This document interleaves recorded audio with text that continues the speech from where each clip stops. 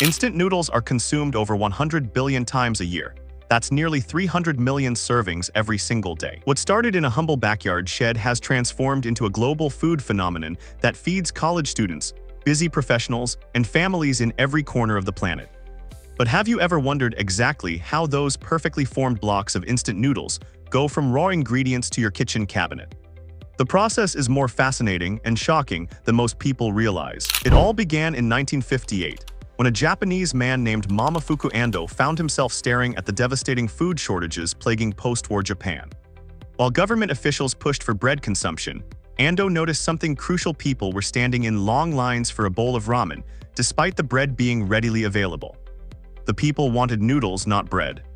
Working alone in a wooden shed behind his home with nothing but basic kitchen tools, Ando spent an entire year experimenting with different techniques to preserve noodles. His neighbors thought he'd lost his mind, and his family worried as their finances dwindled with each failed attempt. Then came the breakthrough that would change food history forever. While watching his wife make tempura one evening, Ando witnessed how quickly the hot oil transformed the food, removing moisture while preserving flavor. This sparked his revolutionary idea, what if noodles could be flash-fried? After countless sleepless nights and failed experiments, he finally created the world's first instant ramen, chicken ramen. The method was ingenious the flash frying created tiny microscopic holes in the noodles that would allow boiling water to penetrate and rehydrate them in just minutes instead of hours. But what happened next would take his invention from Japanese curiosity to global staple. The journey from raw ingredients to those perfectly shaped noodle blocks starts with something surprisingly specific, a special high-gluten wheat flour that's completely different from what you'd use for bread or pasta. What most consumers don't realize is that this flour undergoes rigorous testing for protein content, with manufacturers rejecting entire shipments if they don't meet exact specifications. But the flour alone isn't what gives instant noodles their unique ability to last months on the shelf while cooking in just minutes.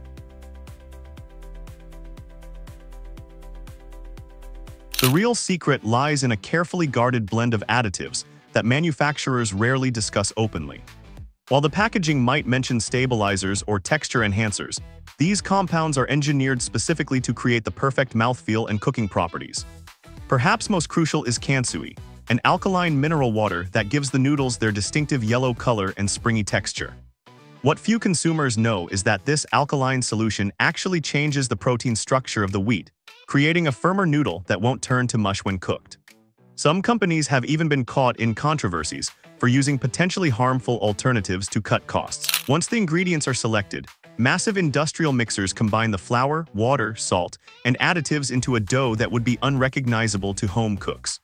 Unlike the gentle kneading you might do for homemade pasta, factory machines apply intense pressure up to 500 pounds per square inch creating a dense, compressed dough that resembles a thick rubber mat more than food. The machinery used in this process has evolved dramatically from Ando's original manual methods, with modern factories employing computerized systems that analyze the dough's consistency in real time, adjusting water and pressure levels to maintain perfect consistency even when the flour quality varies.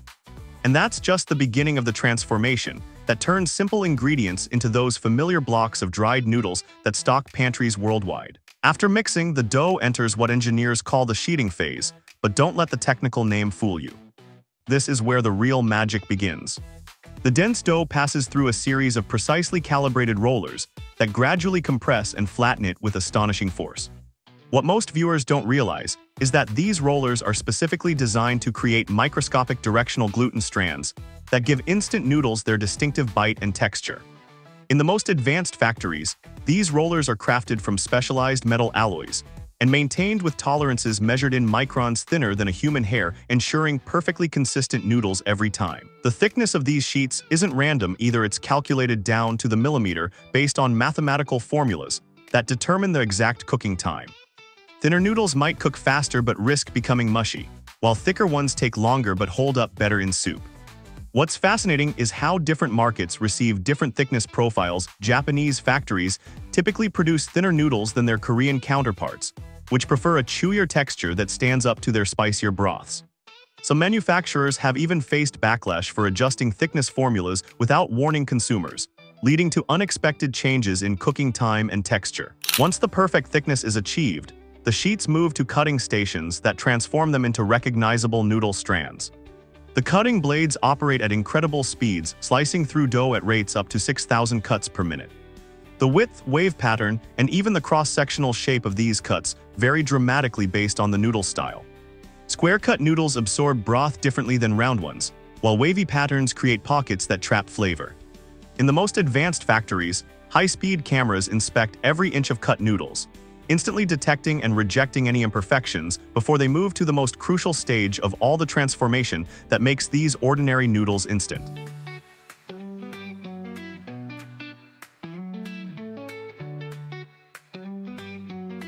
This next phase is where ordinary noodles become instant through a process that's as fascinating as it is controversial. After cutting, the noodles are immediately steam cooked for precisely 1 to 2 minutes, not a second more or less. This partial cooking gelatinizes the starches in the wheat flour, essentially pre-cooking the noodles about 80% of the way.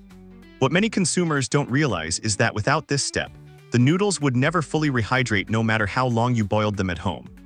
The steam chambers operate under extreme pressure, reaching temperatures well above normal boiling point, causing rapid starch transformation that conventional cooking simply can't replicate. But the true secret to instant noodles lies in what happens next. The steamed noodles enter massive fryers where they are submerged in oil for just 30 to 45 seconds.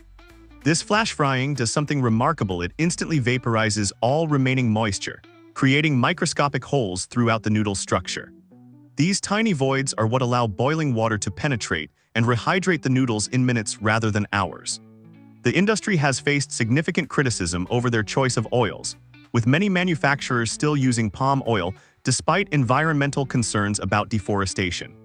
Some companies have quietly switched to alternative oils while maintaining the same original recipe claims on their packaging. The entire frying process happens with astonishing speed from raw dough to fried noodle block in under 4 minutes.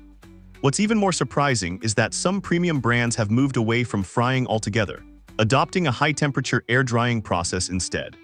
This method creates a slightly different texture and dramatically reduces fat content, but requires specialized equipment costing millions. Factory workers have reported that the transition between these two methods isn't always smooth, with some batches failing quality tests when production systems are switched. The noodles exit this stage with their signature curly, folded appearance, but they're still missing the critical component that gives each variety its distinctive flavor. While the noodles are being processed, an entirely separate production line is creating what many consider the true heart of instant ramen the flavor packets. Despite their small size, these seasoning sachets contain up to 20 different ingredients in precisely calculated ratios. Food scientists spend years developing these flavor profiles, using advanced techniques like gas chromatography to isolate and reproduce the exact compounds that make specific broths taste authentic. What's rarely discussed is how manufacturers reformulate these seasonings multiple times per year, making subtle adjustments based on changing consumer preferences and ingredient availability without ever announcing the changes. At the core of most flavor packets is the controversial ingredient MSG monosodium glutamate, which provides that distinctive umami punch. While scientific consensus indicates MSG is safe for most people, consumer pushback has forced many companies to find alternatives. What they don't advertise is that these no MSG formulations often contain hydrolyzed proteins or yeast extracts that naturally contain high levels of the same glutamates, essentially achieving the same flavor profile through different ingredients. The spice blending happens in sealed, climate-controlled rooms where humidity and temperature are strictly regulated even minor variations can affect flavor intensity and shelf stability. Once prepared, both noodles and seasoning packets enter the packaging phase a hypnotic ballet of high-speed machinery that wraps, seals, and labels up to 600 packages per minute. The packaging itself is a marvel of engineering, with multiple layers of specialized films that block oxygen, moisture, and light. The air inside each package isn't regular atmosphere, either it's a carefully formulated mixture of nitrogen, and other gases that prevent oxidation and extend shelf life. Some factories have even installed thermal imaging systems that can detect microscopic leaks in sealed packages by identifying temperature differences invisible to the human eye. Before a single package leaves the factory, it undergoes quality control measures that would surprise most consumers. Random samples from each production batch are subjected to what insiders call the kitchen test actual preparation and tasting by trained evaluators who assess everything from cook time to flavor intensity. These testers develop such refined palates that they can detect variations in salt content as small as 0.1% in ability that's regularly tested against chemical analysis to ensure accuracy. What's less known is that some factories maintain libraries of preserved samples from years past, allowing them to compare today's product against historical standards in case of consumer complaints. Even more revealing is how differently the same brand formulates its products for various global markets. The exact same noodle brand might contain significantly higher salt content when sold in North America compared to Europe, where regulations are stricter. The spice levels vary dramatically too what's marketed as extra spicy in the United States, often contains just half the capsaicin of the identical product sold in Southeast Asia. These regional formulations are closely guarded secrets, with some companies using coded production runs to prevent competitors from easily reverse engineering their regional recipes. Several manufacturers have faced backlash when attempting to standardize global formulations, with consumers quickly noticing the flavor changes, the logistics of distribution are equally impressive.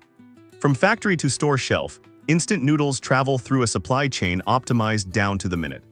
Temperature-controlled warehouses store millions of packages, with computerized inventory systems tracking production dates to ensure older stock ships first. The noodle's remarkable stability allows for shipping methods that would destroy most foods they can withstand extreme temperature fluctuations that occur during ocean transport or desert trucking routes. Some brands even produce specialized versions with enhanced packaging for military use or disaster relief, capable of remaining edible for up to seven years. The global instant noodle network has become so sophisticated that during recent supply chain disruptions, it was one of the few food products that remained consistently available on store shelves. So the next time you open that familiar packet, remember you're not just enjoying a quick meal. You're experiencing the culmination of decades of engineering, chemistry, and culinary science that transformed a post-war necessity into a global phenomenon. From specialized wheat flour to precisely formulated flavor packets, every element has been meticulously designed to deliver consistent results in minimal time. The humble instant noodle represents one of humanity's most successful attempts to make food preparation nearly foolproof, accessible across economic divides, and strangely comforting regardless of cultural background. What began in Momofuku Ando's backyard has evolved into a 45 billion industry that feeds billions annually a testament to how innovation can transform even the simplest foods.